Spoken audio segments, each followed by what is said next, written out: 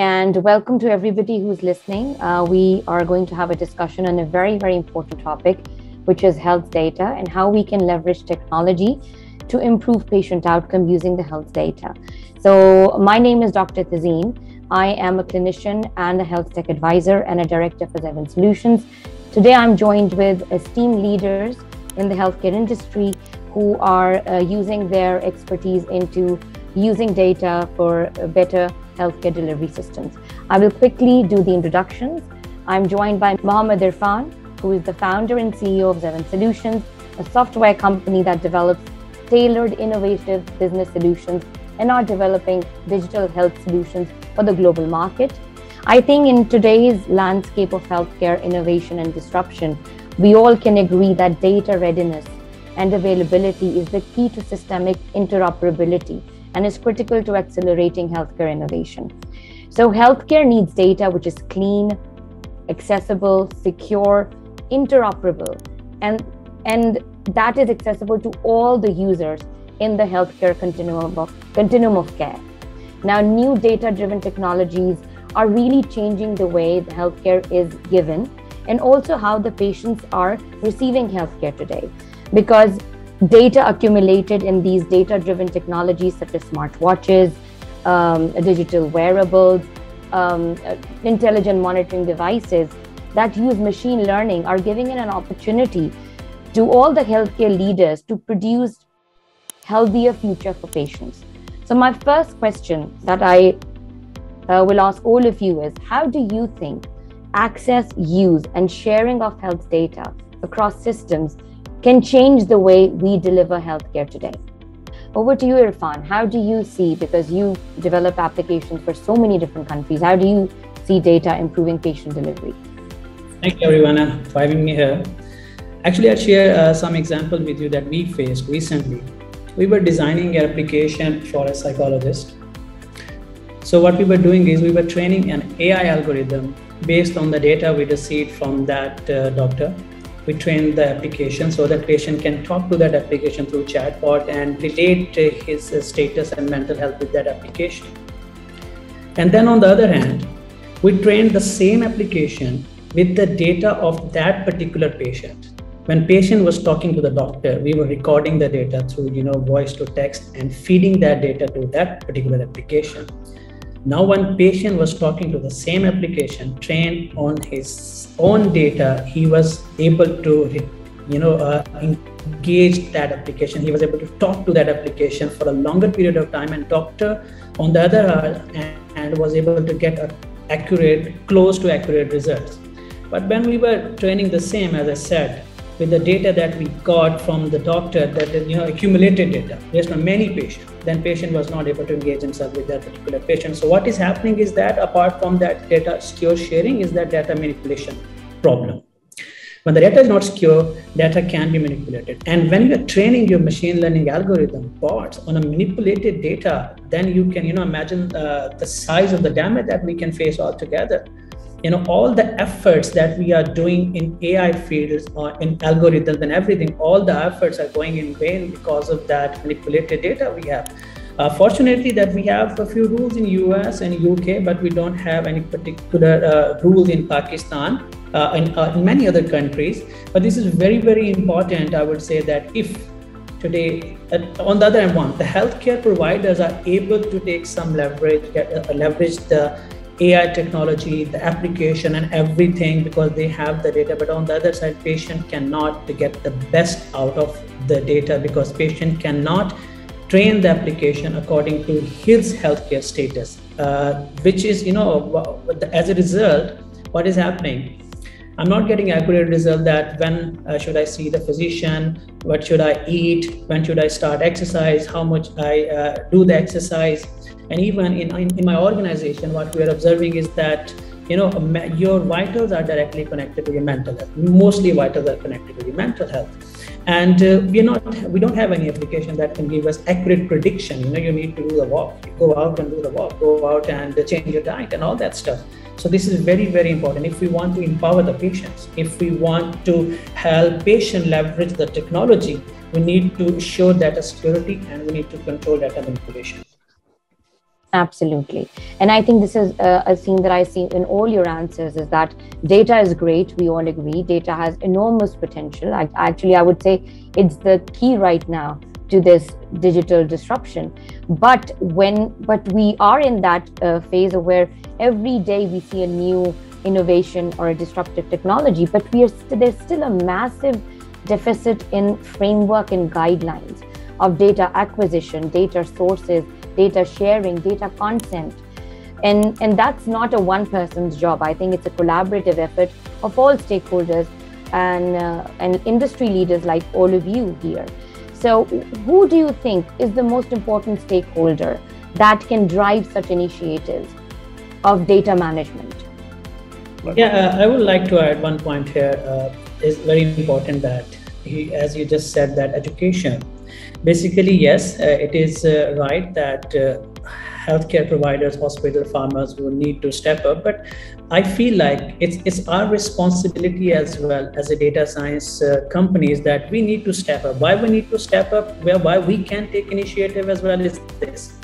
We need to develop an infrastructure let's say we're going to develop a blockchain we're going to educate healthcare providers that what is the benefit here for you to put the data on the blockchain then we go and educate the patient that what is the benefit for you in this and then go and educate the college and universities that why you should come and use that technology and how you can use that technology. If we take an example of Pakistan, we don't have any public blockchain where hospital can put their data onto, where patient can upload their data or they mostly they don't even know how to use the blockchain. They're not comfortable with until unless they the the, uh, the providers are fully comfortable with the technology, they will always find themselves hesitated to take an initiative and who can educate them? We can educate them who are spending their time to understand the technology by diving deep into it. So we all together as a team, we need to step up.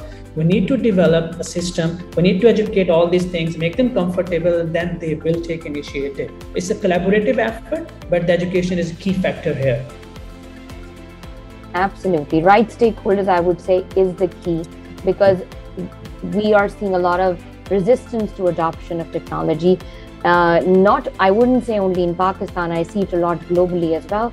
And that is because of lack of awareness and lack of inclusion of key stakeholders in the decision making. Not only after you've made a bill or you've created something, oh, take this and implement it. No, involve them.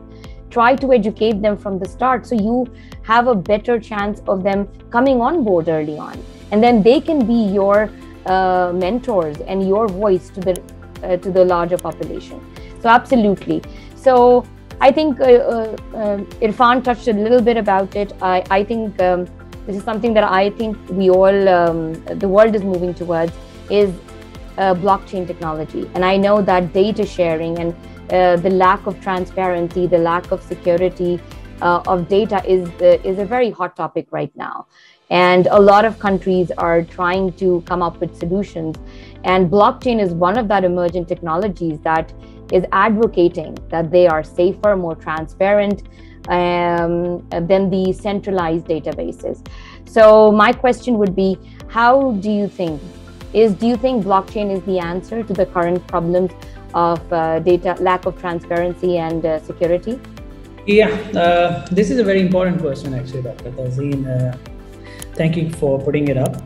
Basically, uh, blockchain is going to answer many questions and many problems it is not all about uh, security of the data. As I said, and Dr. Munawar said, correct data, and as I said, uh, data manipulation is, is a huge problem.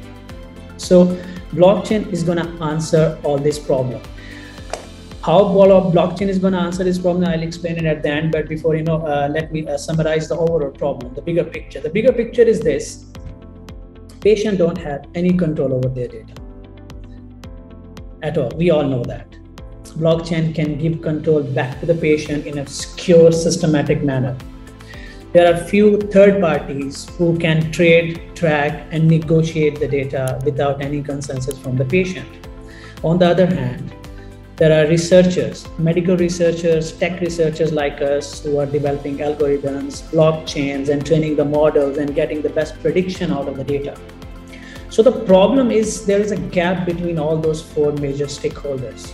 The gap is this the data secure and uh, data, unchanged correct data between all these things. So when I'm as a uh, data owner, as a healthcare provider, as a third party, I'm gonna send the data to a research wing, let's say artificial intelligence company, or maybe a medical researcher for the researcher, how I'm sending that data to them. What is the guarantee that the data is not fully secure and unchained data and everybody knows about it? when we're talking about blockchain there is a term in cryptography called zero knowledge proof you know where one party can prove the validity of the data to another party without revealing the data. There's a there's a very good technology. You know i can show that the data is secure but i'm not showing the data to anyone. So as an ai company as i said uh, uh, initially as an ai uh, company if i'm going to get the data and the data is not manipulated intact and accurate what is going to happen is I'm going to get the accurate result, close to accurate result, accurate prediction, a good AI model trained on that data. The blockchain answers this question in a, a systematic manner because of the nature of the blockchain technology. Decentralized, distributed, uh, I would call it distributed ledger technology in this conversation. I would call it distributed storage technology.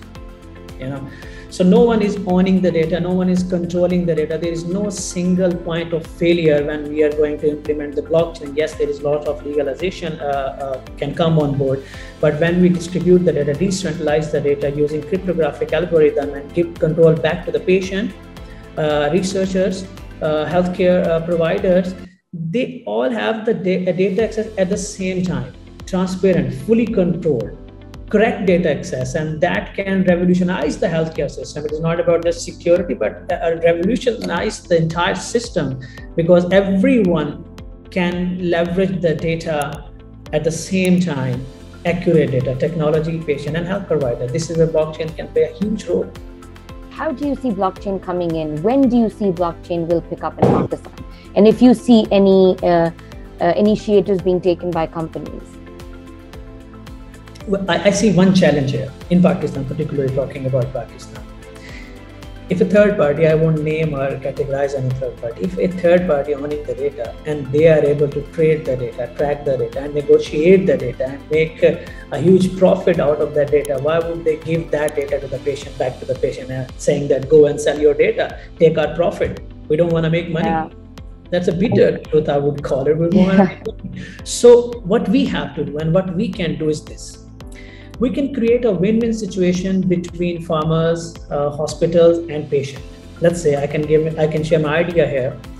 Let's say a, a small clinic, a farmer is having a one million record, one million record. So what they can do is they can trade, negotiate, and make uh, profit out of those one million record. But there are other uh, farmers out there, other uh, hospitals out there. They are having much more data than that. So what we can do as a data scientist, we create a system to create a system when a, a, entity, a third party with a 1 million record is going to upload their data on a public blockchain and another entity is going to do the same and another entity is going to do the same then that means there is a, a millions of uh, data records on that chain and the entity who are you know able to make profit from 1 million record now they are able to get the profit from the 100 million records on the blockchain. So little uh, coordination between patient is if patient is gonna uh, trade the data a little cut will go to the data owners the third parties. The third parties will get in small percentages but they will get a lot money than they have uh, they're doing right now. So basically we need if we can develop the system and encourage them in terms of business in terms of security in terms of system that patient will have the control. But if patient is going to trade his data you're going to get something out of it. It's not like you're giving everything back to patient and on the other end patient can have something. This is a blockchain that we can develop here and of course we're going to need a lot of legal supports and all that stuff. That's my idea that we are working on it but obviously this is not something a one entity can do. Here. what would be your closing points and something you want to talk share with us before we leave the conversation? See uh, i'll just talk about one factor when we are talking about data security data uh, secure transfer when we're talking about blockchain and ai basically uh, we put it together in a way that it is a digital transformation that healthcare system is going towards and when we are talking about digital transformation the most important factor to start and to correctly implement that uh, uh, transformation is a mindset when we are talking about blockchain, we are only talking about blockchain and AI, but it's a system I would call. System is that starting from IoTs, blockchain, AI, and cybersecurity. AI cannot secure a blockchain cannot secure everything. Blockchain can secure your data to some uh, certain data, and then there is a data that you need to implement cybersecurity. So, what is this? IoT that can feel, um, blockchain that can secure, AI that can think, and cybersecurity that can secure your overall infrastructure. So when we're talking about digital transformation, we need to go in, uh, take all these four factors with us, and the most important part is the mindset. We need to you know uh, adopt that, understand that, and educate ourselves to uh, implement all these things.